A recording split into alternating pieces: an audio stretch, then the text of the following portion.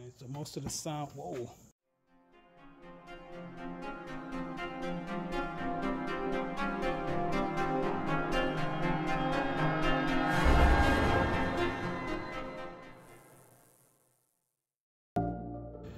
All right, so we got some more guns with the large size holster.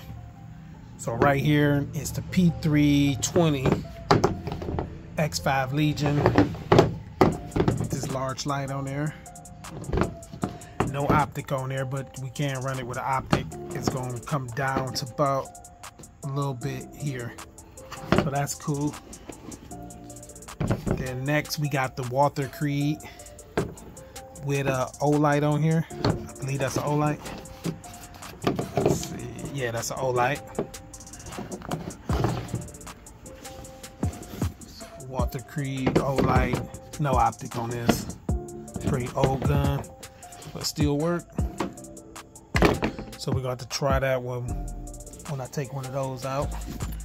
Okay, we got the Kel-Tec PMR with uh, I think this that yeah this that uh, PL3 could put an optic on here I never did um, I don't know about the plates and stuff but it'll fit with optic if you got one on yours so that's the 22 Magnum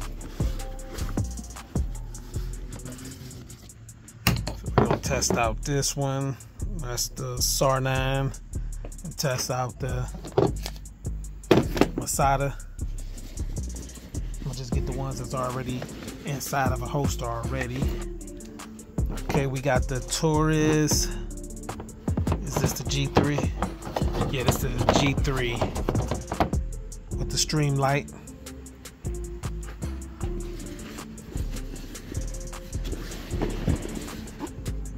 This is the Springfield XD.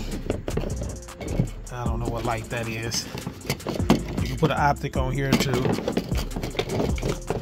Okay, that's one of the prototypes, but they got the laser. That's with the light laser combo, so that fit.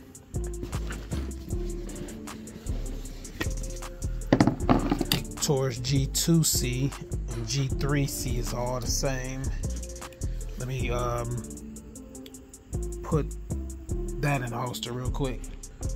All right, so this one was the Masada with the big light real snug fit. Some of these is old. Uh, that's how you can see the metal clip got a little rust on them. I had washed them from being in my pants. I wanted to see how durable they'd be going through washing and stuff, getting them dirty. So I tested these out for years. So, oh, here's the G G2C. So I got to put this one in one.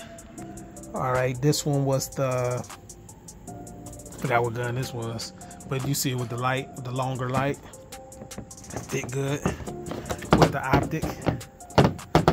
Like I said, ambidextrous, you just take the gun out, turn it the other way, you're good to go.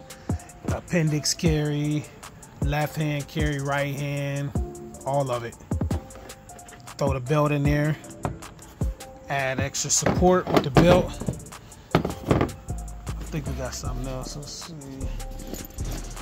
Yeah, we got a few more. Let me grab them. All right, right here is Canik with the big light. No optic on it.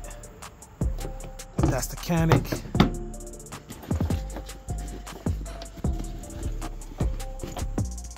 All right, Ruger. Ruger 5.7 with the nightstick. You know that's a real skinny slim gun. Optic, so it still work. And we can swap all these lights around and different on different firearms and we still gonna fit. So that's what the universal part is about. You know, some gonna be snugger depending on how the width of the gun and how tall, you know, the tall the gun is and how the light is structured, but all of these got a good fit. Okay, let me see what else I got. All right, so last right here is the 510 with an Olight. I'm trying to take it out. Okay, got the Olight on the 510 with the optic. So that's what you get right here. Got the optic up here. So that's pretty much it right there. Lot of different making models. I think the last video was what 10 or 12. This is 1, 2, 3, 4, 5, 6, 7, 8, and 10, 11, another 11 with the same type of lights. Motivation, I see your movement is in back, and I fucking that shit. Let's get it.